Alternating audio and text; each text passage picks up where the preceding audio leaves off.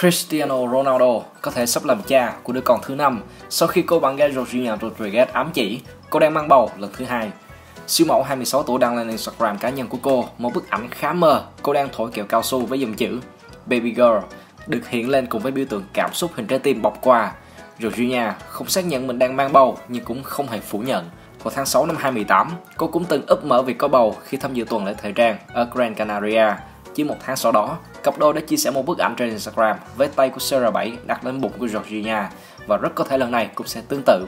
Anh Bảy sẽ lên chức bố lần thứ năm. ấy vậy mà vẫn chưa thấy hai người họ làm đám cưới ta. Bernardo Silva đã tìm thấy tình yêu mới bên cô nàng người mẫu đồng hương Ines Thomas. Trong hai năm vừa qua, Silva được cho là để chế độ độc thân sau khi chia tay Alicia Verando. Cánh paparazzi của Bồ Đào Nha đã bắt gặp hình ảnh Bernardo Silva và Ines thường xuyên khóa môi nhau tại quê nhà trong khoảng thời gian cách ly. Trước đó, Bernardo Silva từng có thời gian dài hẹn hò với chân dài người Pháp Alicia Verando. Alicia tốt nghiệp ngành kinh doanh quốc tế tại Đại học bang California. Cô có thể nói trôi chảy ba thứ tiếng, Anh, Bồ Đào Nha và Pháp. Kể từ sau khi chia tay Alicia, Bernardo Silva luôn ở trạng thái độc thân trước khi bắt đầu mối quan hệ cùng với Ines.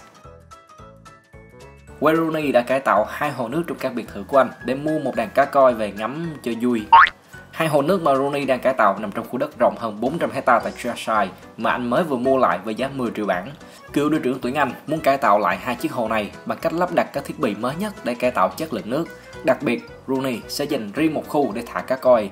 Đây là một loại cá chép cảnh nổi tiếng của Nhật Bản. Cá koi và các hình xăm trên cá được người Nhật xem là điều may mắn. Sau đó, Rooney sẽ nuôi thêm cá và trồng thêm rau, các loại thực vật ở trong hồ để tạo môi trường sạch nước khi thả vào nhiều loại cá khác như cá chép, cá chó phương Bắc, cá hồi, cá da trơn, vân vân và may may. Đừng thả cá độ là được rồi anh ơi. Trang Punte đưa tin Manuel Neuer đã có bạn gái mới tên là Annika Pizzel sau một cuộc hôn nhân tan vỡ trước đó. Annika năm nay mới 19 tuổi. Cô là vận động viên bóng ném và đang theo học ngành thời trang ở Munich.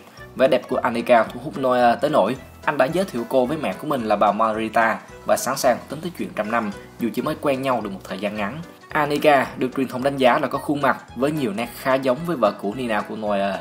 Thủ môn của Bayern từng tập tành chống nạn khi tổ chức đám cưới với Nina Weiss vào năm 2017. Hiện tại, Manuel Neuer được đồn đoán sẽ rời Bayern Munich sau khi hai bên không tìm được tiếng nói chung trên bàn đàm phán. thu thành kỳ cựu quyết định dừng tiến trình đàm phán gia hạn hợp đồng sau khi không được câu lạc bộ đáp ứng về đòi hỏi lương bổng.